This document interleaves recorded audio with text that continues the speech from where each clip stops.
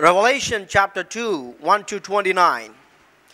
And unto the angel of the church in Ephesus, write these things, say, He that holdeth the seven stars in his right hand, who walketh in the midst of the seven golden candlesticks.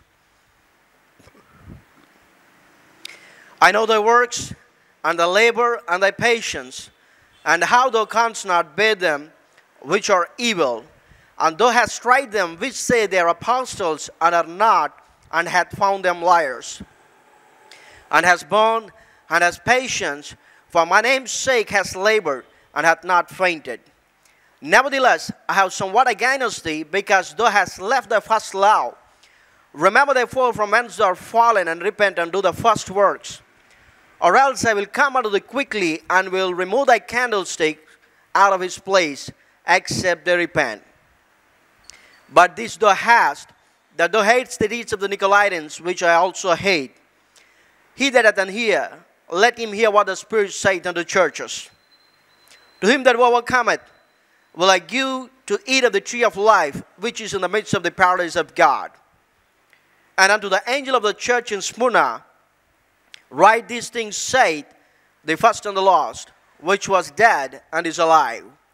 I know the works and tribulation and poverty, but thou art rich.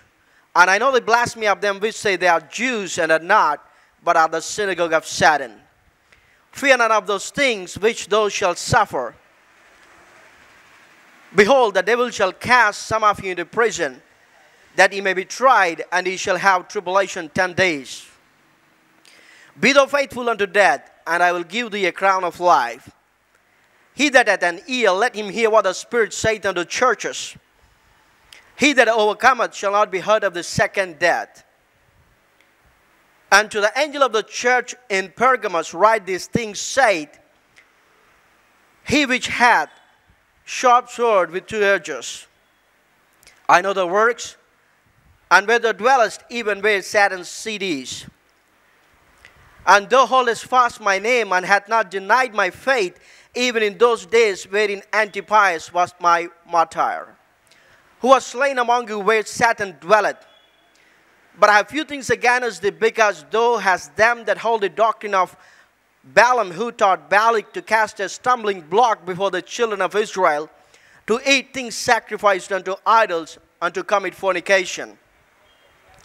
So has them that also hold the doctrine of Nicolaitans, which thing I hate.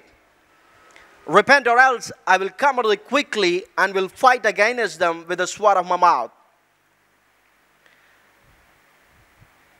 He that hath an ear, let him hear what the Spirit saith unto the churches. To him that overcometh will I give to eat of the hidden manna, and will give him a white stone, and in the and in the white stone a new name written, which no man knoweth, saving he that receiveth it. And unto the angel of the church in Thyatira write these things, say, the Son of God, who hath his eyes like unto a flame of fire, and his feet like unto fine brass. I know their works and service and charity. I know their works and charity and service and faith and thy patience and thy works, and the last to be more than the first. Notwithstanding, I have few things against thee, because thou sufferest that woman Jezebel, which calleth herself a prophetess, to teach and to seduce my servants to commit fornication and to eat things sacrificed unto idols. And I gave her space to repent of her, of her fornication, and she repented not. Behold, I will cast her into bed, and them that commit adultery with her into great tribulation, except they repent of their deeds. And I will kill her children with death, and all the churches shall know that I am he which searcheth the reins and hearts, and I will give unto every one of you according to your works. But unto you I say, and unto the rest in Thyatira, as many as have not known this doctrine, and have not known the depths of Satan as I speak, I will put upon you none other burden, but that which ye have already hold fast till I come.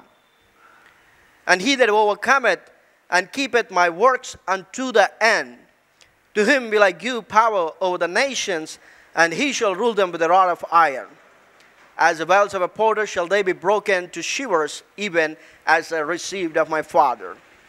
He that hath an ear, let him hear what the Spirit saith unto churches.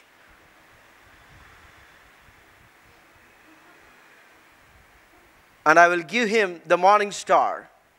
He that hath an ear, let him hear what the Spirit saith unto churches.